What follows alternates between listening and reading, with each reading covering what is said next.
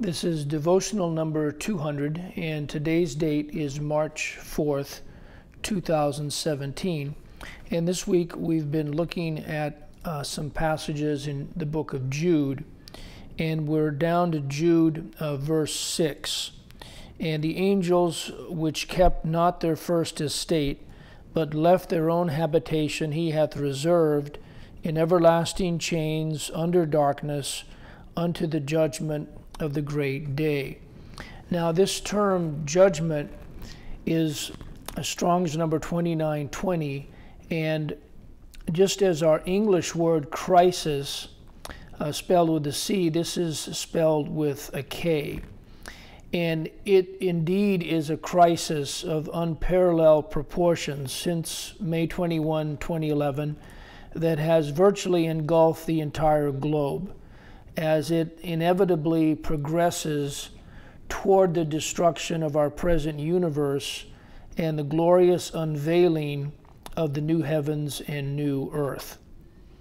Uh, here are some examples of how God has chosen to use this word, which is rendered in the following ways judgment 41 times, damnation three times, accusation twice, and twice also as condemnation. Uh, John 3:19 uh, relates uh, light to darkness as well as to condemnation and evil, uh, evil being sin. And this is the condemnation that light is come into the world. And men love darkness rather than light because their deeds were evil. John 5 22 to 30 is a passage that includes three out of the four nuances of this word. We have uh, judgment, uh, condemnation, and also damnation.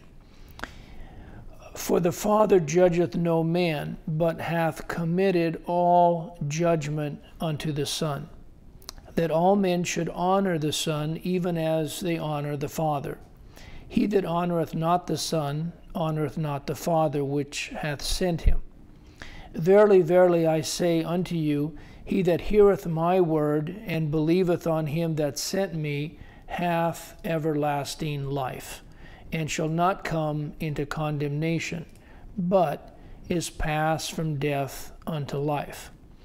Verily, verily, I say unto you, the hour is coming, and now is when the dead shall hear the voice of the Son of God, and they that hear shall live. For as the Father hath life in himself, so hath he given to the Son to have life in himself, and hath given him authority to execute judgment, also because he is the Son of Man. Marvel not at this, for the hour is coming in the which all that are in the graves shall hear his voice, and shall come forth, they that have done good unto the resurrection of life, and they that have done evil unto the resurrection of damnation. I can of mine own self do nothing. As I hear, I judge, and my judgment is just, because I seek not mine own will but the will of the Father which hath sent me. The last two words in this phrase, unto the judgment of the great day, and uh, they also appear in uh, these next citations, which are presented within the context of our current day of judgment. And the word for uh, of the great is uh, megas, Strong's uh, 3173, and the word day is uh, Strong's 2250. Let's look at Acts 2:20, which reveals the end of God's salvation program and the beginning of an extended a day of judgment.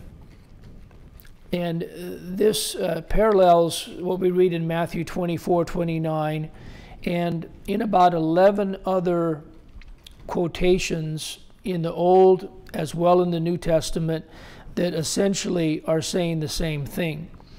The sun shall be turned into darkness and the moon into blood before that great and notable day of the Lord come.